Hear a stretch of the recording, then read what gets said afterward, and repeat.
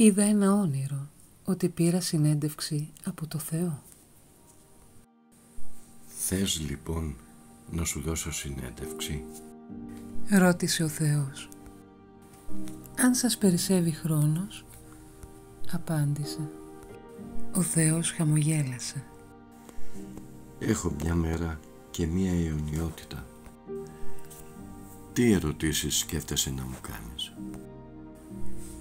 Τι είναι αυτό που σας εκπλήσει περισσότερο στους ανθρώπους; Και ο Θεός απάντησε. Ότι με το να αγχώνονται για το μέλλον τους, λησμονούν το παρόν τους και έτσι δεν ζουν ούτε στο μέλλον ούτε στο παρόν.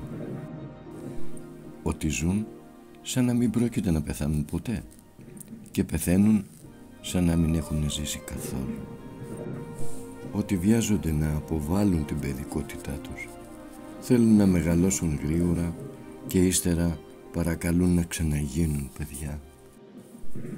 Ότι χάνουν την υγεία τους προσπάθοντας να βγάλουν λεφτά και ύστερα χάνουν τα λεφτά για να ξαναβρούν την υγεία τους. Ο Θεός πήρε το χέρι μου στο δικό του.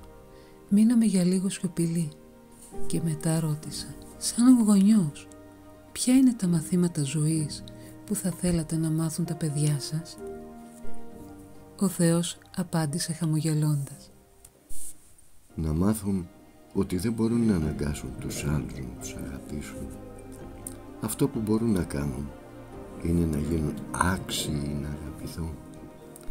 Να μάθουν ότι δεν μετράνε περισσότερο τα πράγματα που έχουμε στη ζωή μας αλλά οι άνθρωποι που έχουμε στη ζωή μας να μάθουν ότι δεν ωφελεί να συγκρίνουμε τους εαυτούς μας με τους άλλους να μάθουν ότι πλούσιος δεν είναι αυτός που έχει τα περισσότερα αλλά αυτός που χρειάζεται τα λιγότερα να μάθουν ότι μέσα σε ελάχιστες στιγμές μπορείς να ανοίξεις τον άλλο πληγές που μετά παίρνει χρόνια πολλά για να τις γιατρέψεις.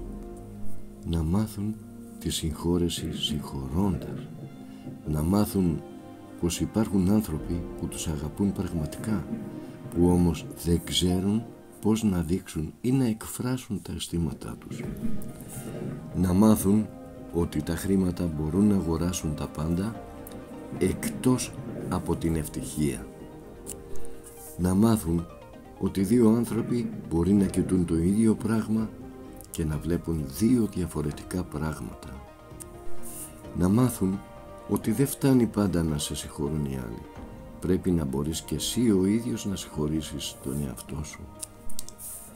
Και να μάθουν ότι για τα παιδιά μου εγώ θα είμαι πάντα εδώ.